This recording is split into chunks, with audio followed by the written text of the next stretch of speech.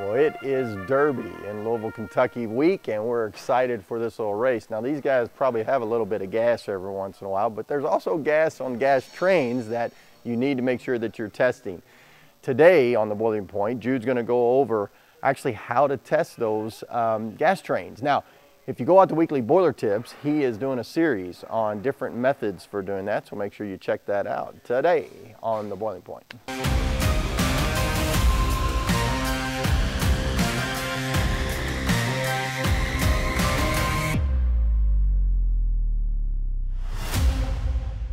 A lot of insurers are wanting leak tests done on gas trains annually, and we're going to look at a few different ways that we leak test a gas train both externally and internally. Uh, on an external test, what we're looking for on our gas train is basically gas coming out of joints in our piping. Um, things can move over time, shift, pipe dope gets old, etc. So um, testing that's important. There's a couple different ways that we can test our gas train. Um, one way doing this external testing is with a leak detector. Um, if we're going to test with a leak detector, we can do a portion of the test with the boiler off up to the first safety shutoff valve. But in order to test the rest of the gas train, we'll have to be firing the boiler or else we won't have gas pressure in that half of the component. So first thing we've got to do is allow our gas detector to calibrate. And we're going to go find some outside air to do that. It's important to calibrate any sort of gas sniffer outside so that we have fresh air. If we try to calibrate this in a boiler room, if there's a gas leak present, um, it could give us an error in our calibration and, and it's not going to be reliable or safe. Generally with our leak tester, we're going to sniff any point um, on the gas train where there's a joint. These are typically really sensitive, so they may pick up a leak. Um, if it does, we'll usually follow up with a soap check, which I'll demonstrate as well to um, show you how to narrow down the location a little bit.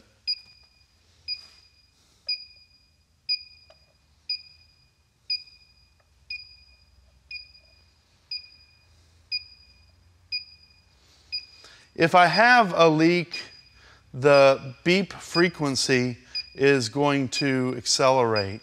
Um, but you'll want to look at the uh, instruction manual on any tester that you have to verify that um, its mode of operation.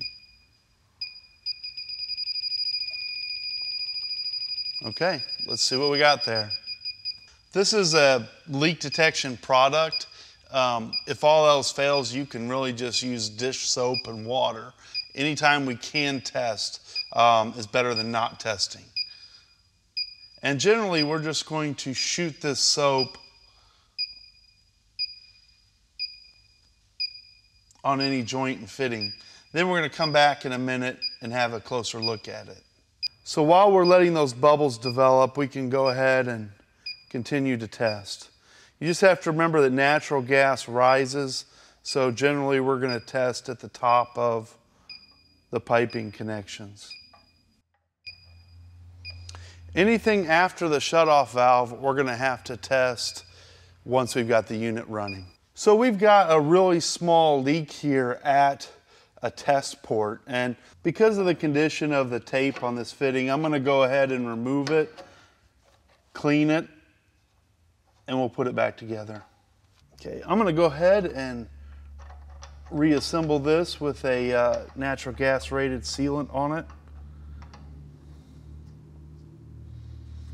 Then I'll respray it, make sure we don't get any bubbles. So testing a gas valve to see if it's leaking through is a little bit more complicated because I can't spray the inside of the pipe with soap. So what I'm going to do is isolate the pipe downstream and connect tubing downstream of the gas safety shutoff valve. Then we can monitor this. If there's a leak in the fuel valve, we'll get bubbles out the end of this tube and we'll know that we've got gas passing through the valve. Once the unit's firing, we'll go ahead and leak test the gas train from the safety shutoff valve to the burner manifold.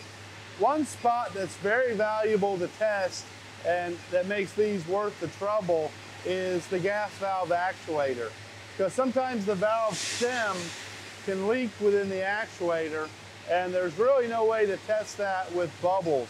So if we take the sniffer to the window of the actuator, it'll usually pick up the leak if it's present.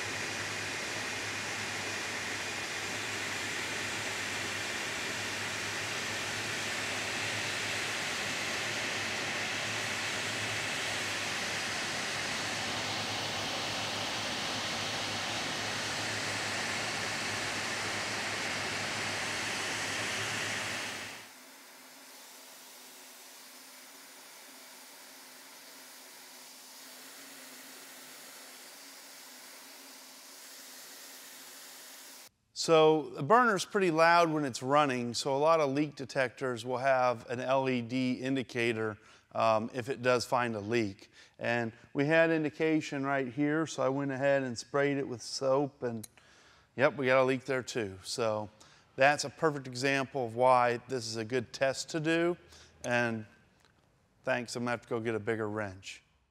Well, appreciate Jude stepping in and talking a little bit about gas leaks. Now, if you are not comfortable with doing that, obviously it is dangerous with natural gas, make sure that you get with the service company and let them come out and check out for leaks and um, you know, this might just be better for you, just kind of clear, clear the air, if you will, and just making sure that it's all safe. So like us on Facebook and follow us on Twitter if you don't mind. Subscribe to our YouTube channel.